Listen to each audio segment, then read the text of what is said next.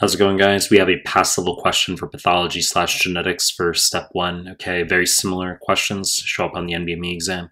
Not a dramatic clip. Okay, I'll just tell you the highlight points we need to know here. So before you get started, please subscribe my channel. I really appreciate it. Give video a like. I really appreciate it. Find me on Instagram at mehlman underscore medical, M-E-H-L-M-A-N underscore medical. The link's down below. Find me on Telegram. The links to the Telegram group and channel down below. Now start the clip. So 14-year-old boy, he's brought in for a routine health maintenance exam. Height and weight are within normal limits, as are his vitals. And we have a photograph of his mouth here.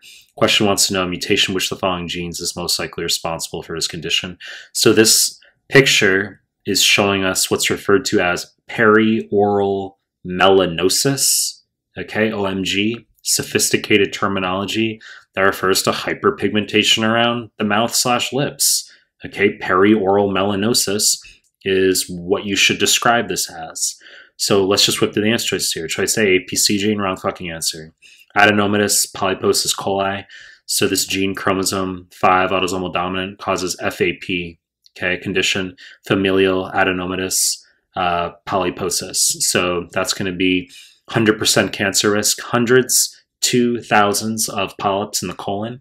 And they want you to know that you do total proctocolectomy at age 18. Okay, that's on the pediatrics forms for TCK. Sounds crazy invasive. Okay, you say, well, we don't like screen more first. No, they just want, because there's 100% cancer risk. So, a total proctocolectomy at age 18. There's obviously lower yield nonsense that students get hysterical about, such as Gardner syndrome, which is soft tissue tumors, okay, uh, like lipomas or osteomas plus FAP, or Turcot syndrome, spelled Turcot, but Turcot syndrome, which would be CNS tumors plus FAP. Wrong fucking answer. Choice B, BRAF, wrong answer. This refers to melanoma, some melanomas. Okay, so BRAF tyrosine kinase. I mean, that's literally all you need to know. Okay, it's a it's a proto-oncogene. You could know that as well. It's a pass-fail exam now. Okay, nothing to uh, get fanatical over, but just BRAF tyrosine kinase. It's a proto-oncogene, uh, not a tumor suppressor. It can be associated with some melanomas. There's a weird drug called vemurafenib that back during the numerical step one when when I took it a decade ago. We are all shooting for a 280. It's like holy shit, vemurafenib. Let's memorize weird drugs. Absolute garbage. Okay, never seen the drug assessed once. Wrong fucking answer. Choice C, MSH2, wrong answer. So this is one of the mismatch repair genes for HNPCC.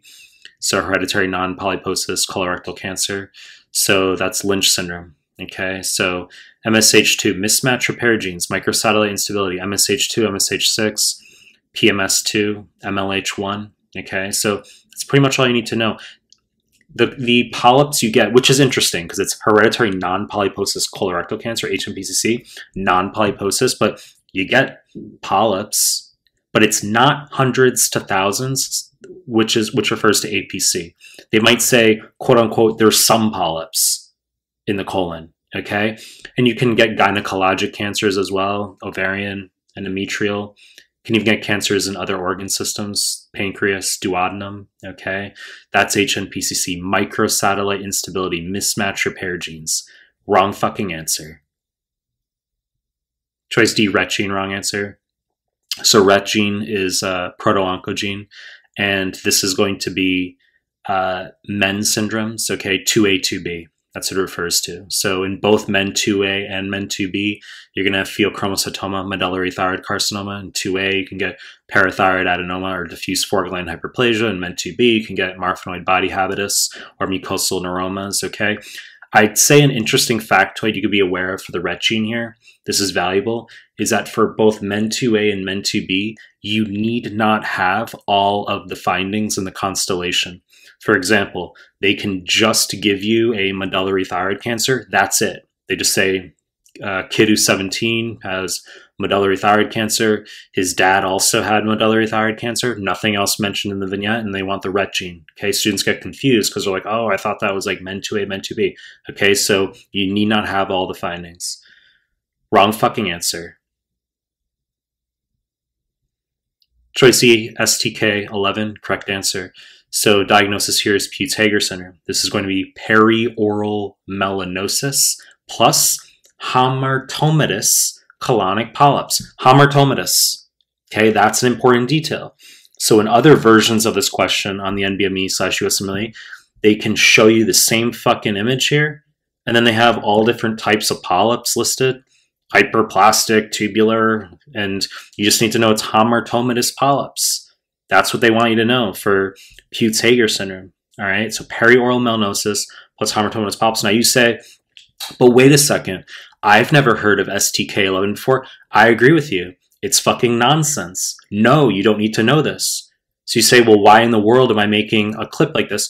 Okay, well, it's me being an asshole in the sense that no, I don't want you to know STK11 is Peutz-Jeghers. The purpose of this clip is to eliminate to get there, which is how some USMLE questions are. Okay, occasionally you're able to absolutely eliminate to get there. You say, I know APC refers to FAP. I know BRAF is melanomas.